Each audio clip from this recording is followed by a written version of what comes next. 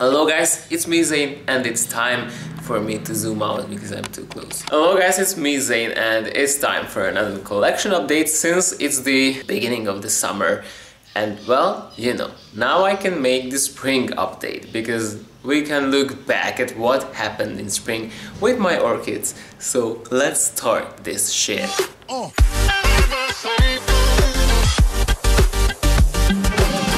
Okay guys, so I'm gonna start my collection update here outside and as you can see I have this little fencing for my orchids so they don't fall down which is quite helpful for me. So this is my Catasetum planiceps which is still not blooming but growing a new growth. That's okay. Here we have a Vanda luzonica which is like growing. You know, it's a Vanda, it's growing, that's that. Well, I'm not sure about my Ancistrochilus rothschildianus because, oh shit, I just see it has a new growth coming up there. Can you see that green thing there? Well, yeah, that is the new growth. A little bit late, but it's okay.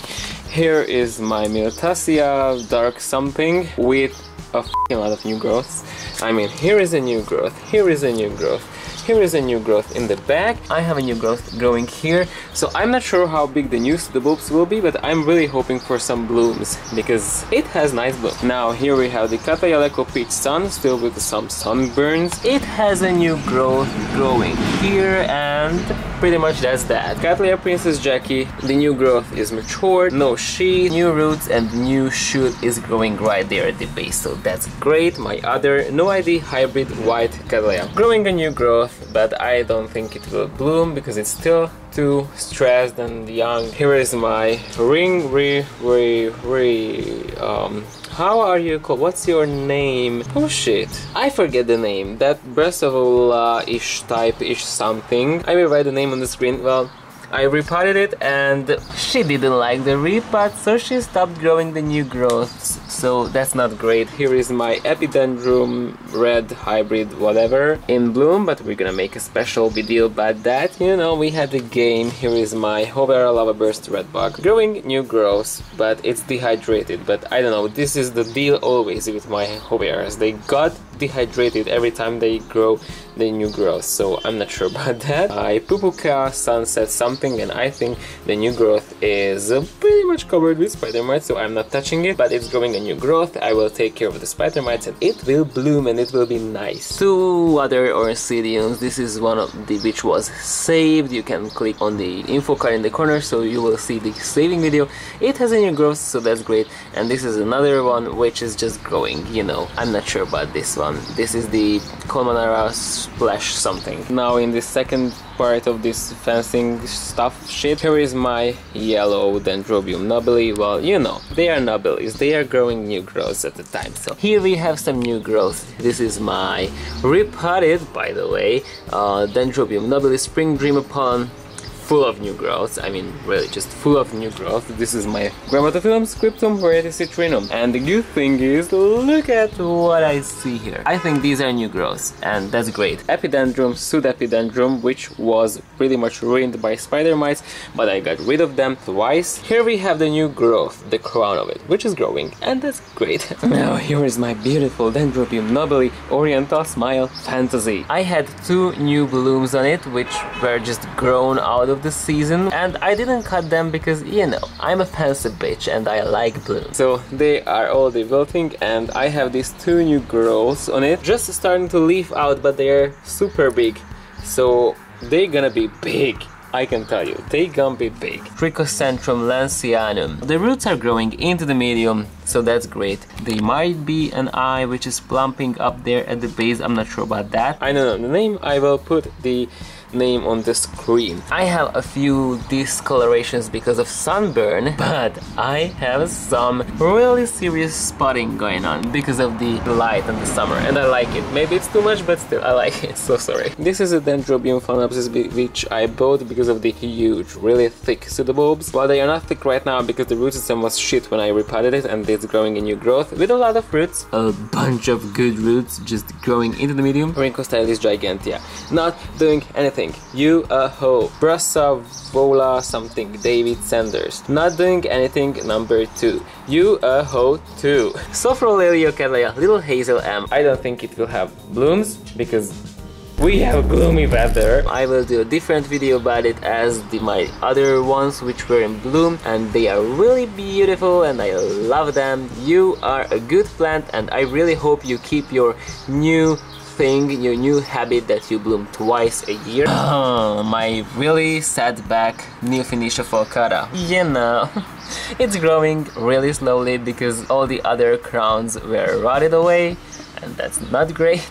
okay, I cleaned up a little bit my Epidendrum brassavolae, but it still looks really, really unruly. What's your name? It's a Phalaenopsis cornu-cervi variety Chatelardeae. Growing this new leaf and the new leaf shows up this uh, pigmentation on the center which means that it gets enough light. What's your name bitch? This is a cross. It's a Eurychone galeandrae and an Erynges scotchiana cross. Well, I have more of these this one is growing this new leaf and some new roots, so that's okay. Here is my poor Vanda Naoki Kawamura. It's doing like shit. he has a will to grow, so that's great. Here is my Bulbophyllum echinolabium. Well, I repotted it, so the new growth is a bit smaller. As you can see, the size of the pseudobulb is smaller, and this leaf is smaller too, but that's okay. For me, it's okay. Okay, then here are my Vandas and my Dendrobium uh, Lindley. I really was afraid that it will get some sunburn when I just bring outside, but no sunburn happening next to my Vandas, so yeah, that's a lot of sun going on here. All my other Vandas are just hanging out there. My Gordon Dillon Blue, which has a flower spike, yeah, bitch. I said it's not gonna bloom because he just hates me. And I scared the shit out of him in my different video because it almost fell on the ground. It got scared, now it has a flower spike. So now I know what to do with my other orchids who doesn't want to bloom. Vanda Sanderiana, just growing, you know, and my white Vanda, it's blooming, but I'm showing you it in a different video, bitch. and here on the lower parts, here is my Vanda Hiroshima choice, well growing. And the Paraphalaenopsis labukensis, well the same, it's growing. that is my Dendrobium nobilis spring Dream Apollon on a kokedama, so it's just growing there, you know, it's okay. And my other two kokedama-ish style but potted plants, this is the longer one is the Dendrobium anosmum and the shorter one is the Dendrobium aphyllum. Well, you know, they are just growing, it's summer, it's their growing time, they are growing nicely. Uh, this is my Bulbophyllum longissimum. Well, it's growing and that's that.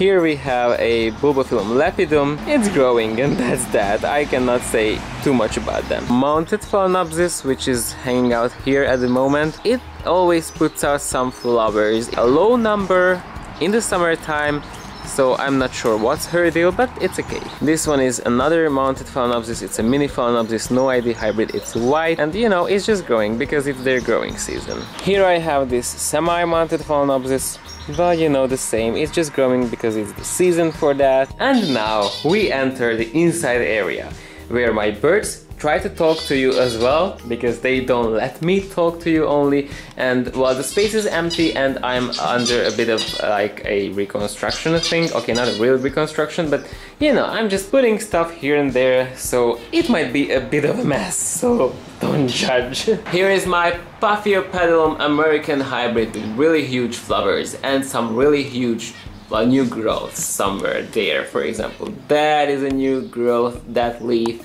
and there is another new growth growing on it somewhere so it's okay for me but I think it needs more sun maybe here on this place here we have my own Oncidium Bartley Schwartz with some really nice and fragrant blooms but I'm gonna show these blooms in a different video. Well here in the back of this sewing machine which is a vintage stuff decoration thingy. Here we have two Phalaenopsis, a little bit of a saving and stuff like that. Two Phalaenopsis, this one is blooming, this is a summer blooming species hybrid thingy and I love this bloom. Uh, that one is a regular complex hybrid which blooms in the springtime or late winter. It's just growing, you know, it's in the season. How are you called? Epidendrum parkinsonianum which extends to this point and well yeah it is finished maturing the new growth which did not bloom for me. I'm not sure maybe it needs like more sun or it just needs to like grow more but new growth already shows up. Well guess what, who is this? This is my Masdevallia and I forget to pour out the water for a week from this decorative pot so I rotted out a leaf, which is not great. In between the two pane windows I have some more plants. Here, this is my Pleurothallis stricta. As I said in some of my previous videos, I moved it here where it receives more sun, which I can clearly see by the discoloration of these stems, of these tiny stems of the leaves. They weren't this red, so that's great. Now I'm hoping for some flowers because it's due. And here we have a real treat. This is my other Conegaliandre crossed with the Eryngia scotchiana. What bitch, look at that. I will show you from closer. now I can say, well bitch, look at that. we have three new things growing here. This huge green thing in the middle, that's a new root. But this one here, and that one there, which I'm not sure how can I show you because it's really growing between the leaves. Well, guess what? Those are two new flower spikes. And I'm just so excited because this should be fragrant and beautiful. I'm in love with weird monopodial crosses. So I'm just super excited about this one. Here in the other window sill thingy, here we have this Renanthera imschootiana, which has still no crown. it just doesn't want to focus right. Okay, so here we have two bumps going on on the stem. Here we have another bigger bump. well, they are growing out of places where should be available eyes and because roots are just popping out from every side and from every height, but these are definitely the eyes which should produce flower spikes or new growth. I saved Cattleya Princess Jackie which had fusarium, now it doesn't have fusarium. The new growth is getting bigger and bigger so that's great and here is my Dendrobium compactum. While it's growing that I'm hoping for some spikes in the autumn time. Here we have my Phalaenopsis bellina growing a new leaf there at the top. That's great. It has only one pseudobulb, so that's not the greatest thing. And here is my Catasetum charlesworthii across with the Ornithurides as well. This is the new growth. I'm not amazed by it. I'm trying to save this Wanda with moss because it has no roots because I fucked this one up a long time ago. I mean, I didn't even show you this one though for like in the past updates I think. Here is my Phalaenopsis schilleriana. Uh, the root tips started to grow once again after the blooming and right now it's doing its thing, so that's great. Eurychone Galeandra crossed with the Eryngia scotchiana. This one is a seedling growing a new leaf tip there, so that's what's happening with this one and I have another one Basically, it's the same, so I'm not gonna show you that, it's boring.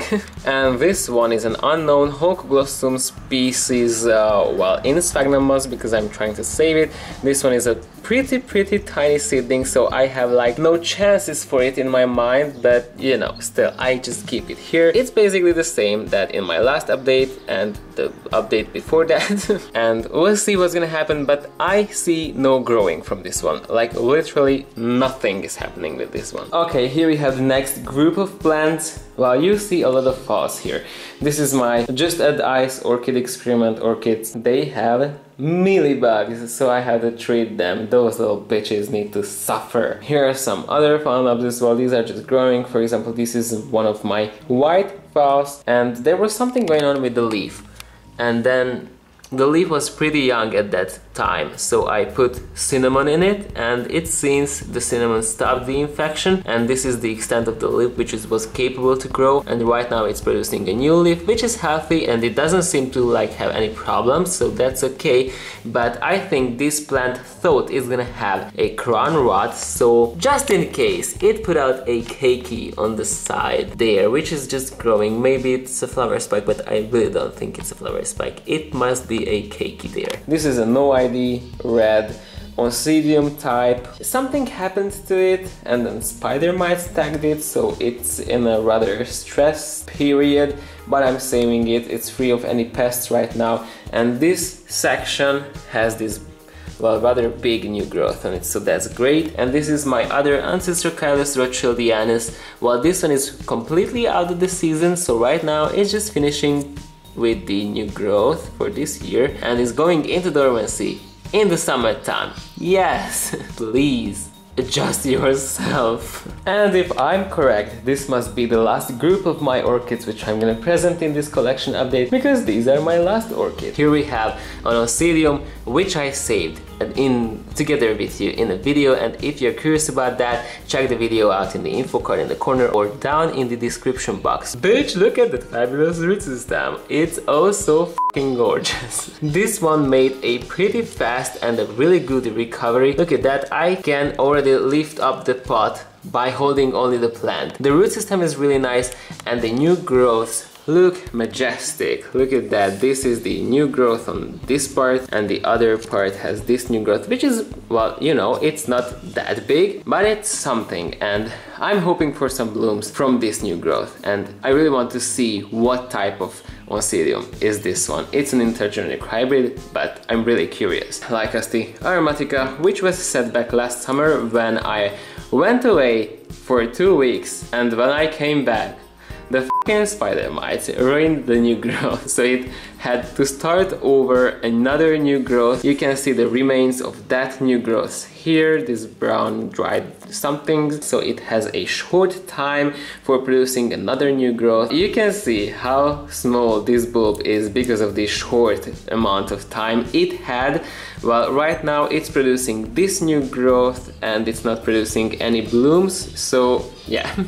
Okay guys, so this one is my saved Paphiopedilum. We saved it together and you can watch the video down in the description box. You can find the link while the new growth is growing there, which is really nice and I hope some roots are growing inside the medium as well. This one is a saved Dendrobium phalaenopsis. Well, it's looking great. Look at that. We have a new growth there and some new root tips, so that's okay. Saved phalaenopsis, this is the Sogo Sogogotris.